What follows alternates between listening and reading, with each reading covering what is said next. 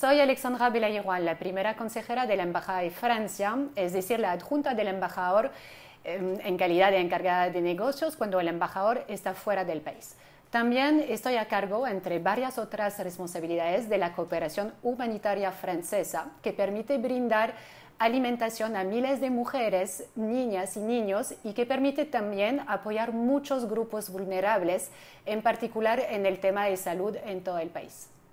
Hola, soy Iris López. Durante mi vida me he desempeñado como funcionario policial y chofer escolta. Actualmente pertenezco al equipo de seguridad de la embajada. Mayormente he trabajado con personal masculino y ellos han reconocido mis competencias y respetado mi autoridad.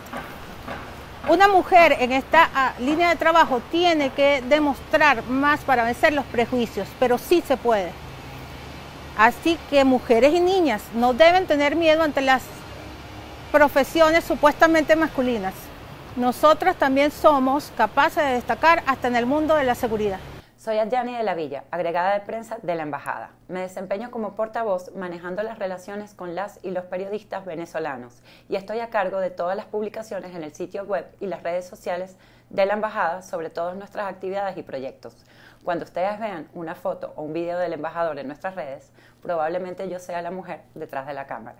Soy Ana García Freché, responsable de la gestión financiera y de la organización de eventos del Servicio de Cooperación y de Acción Cultural de la Embajada de Francia.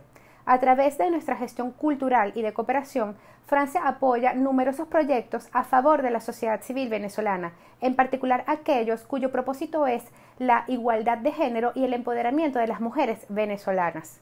En la Embajada nos sentimos sumamente orgullosos que nuestra política de cooperación incluya un importante enfoque de género y beneficie así a todos los miembros de la sociedad civil venezolana. Soy Alix Guino, encargado del registro civil en la sección consular de la embajada. Llegué a Venezuela hace unos meses después de varias misiones en Camerún y Namibia, en África, Birmania, China y Haití.